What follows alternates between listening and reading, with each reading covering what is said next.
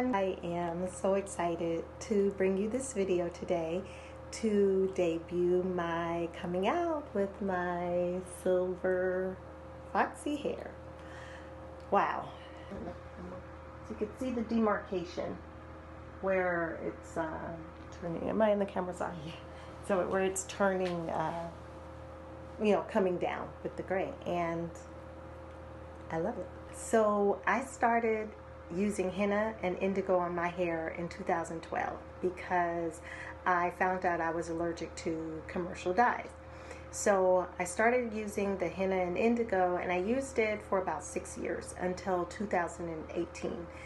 And then I have a video that I will post the link to about how I went through hair loss from stress. And so I have been wearing wigs for the past two years and then when I took my hair down, because I hadn't straightened it in over two years, when I straightened it, I was like, wow, I saw all the silver hair that came in and I loved it. I absolutely loved it. So I wanted to make this video to encourage women out there who may be going through a transition as well and going through a transition with your gray hair coming in or silver, platinum, white, whatever color it is, to encourage you to just rock it. Whatever it is that you decide to do for you, if you decide to color your hair, that's fine too.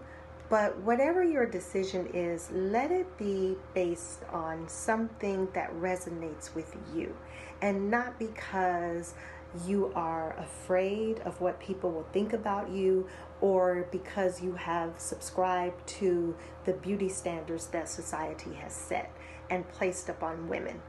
In our society, there is a double standard for women when it comes to gray hair versus gray hair on men. In our society, men, when they go gray, they're called silver fox, regardless of the age. But when women start to go gray, they are encouraged to dye their hair, they are talked about, they are talked down to, they are um, told that they're going to look old or that they do look older, that they are less attractive. And I just want to say that beauty, real beauty, comes from within. It doesn't come from a bottle. It doesn't come from sitting in a hair salon. It may make you feel better or it may make a woman feel better when their hair is becoming to them. But if it changes your whole concept of who you are, because of a color change in your hair, because you have gray hair or silver hair or white hair, if that changes your whole concept of who you are, then I would say you need to go deeper and do some introspection to see where that change is really coming from. Is it coming from within or is it coming from the naysayers without? Because if a woman feels beautiful, sexy, gorgeous, glorious before the gray hair, then the hair that comes out of your scalp, the hair that sits on top of her head, whether it's gray, whether it's silver, whether it's blonde, whether it's blue, whatever color, if that woman felt sexy and beautiful before the hair change, then she should feel sexy and beautiful after. And if not, then why is that? Why is that? I'm not at all saying that everyone should every woman should embrace their their hair and just rock it, their gray hair starting right now or whenever. That is a personal decision and a personal choice. But let the choice be from within you and not from without. I feel the same.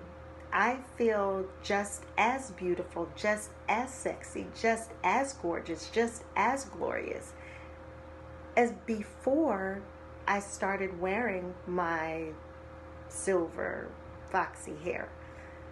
As far as I'm concerned, the hairs that came out of this scalp, not one single person on God's green earth or beyond can claim that they put them there. Every single hair on your head is numbered. Every single hair has been designed, uniquely placed there by the Master Himself. Man didn't make me, so why should I care about what man says about me? And I don't. And I would encourage you to have the same attitude. Now, don't get me wrong.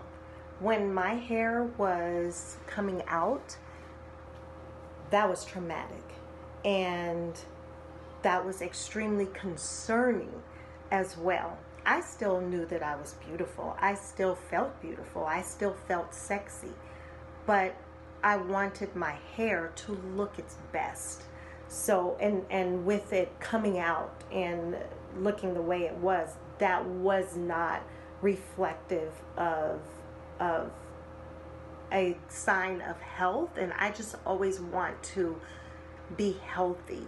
And so that was concerning. I'm not talking about women either who have lost their hair from chemo or cancer, thyroid problems. That's not what I'm talking about.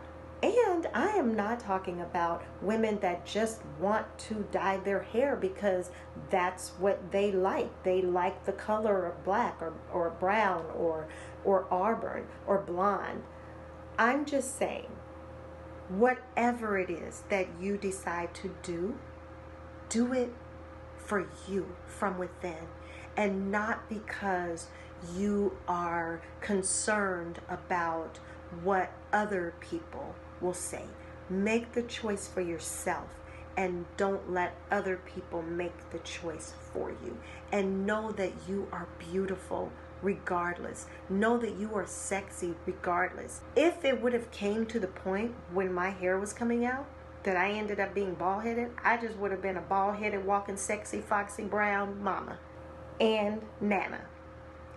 But I would not have succumbed to someone else's standards of beauty for me. And that is what I'm saying. And that's why I wanted to do this video. If your your hair is gray, if it's silver, if it's white, and you want to rock it, then rock it. Rock it for you. Don't change because someone else tells you that you're not beautiful. Tell them to go away. You're not having it today and no other day. So, with that being said, I want to tell you something really, really funny. So, my four year old granddaughter, Bella Bella, she had not seen me with my actual hair because I had been wearing the wig. And so when she saw my hair, she said, Nana, your hair is white. I said, I know. It's because God made my hair white. And so she said, want white hair. Asked her, well, which hair do you like the best? Because she said, you have black hair down here and white hair up there. And I said, I know. Which one do you like the best? And she said, I like the white hair the best. It's like, oh, okay. So we just have to have that childlike wonder. She has not learned the negative things she hasn't heard the negative things and internalized them, what society says about women with gray hair. She's going from a pure standard of beauty, the only one that children know before they hear all of the negative things that the world has to offer. And for her, white hair is beautiful. So Come with that childlike wonder. Embrace your beauty, embrace your glory, embrace your sexy, whatever color your hair is. But if you want to stop doing the coloring and just go gray. You have a lot of support out here. Until next time, thank you for watching. God bless you.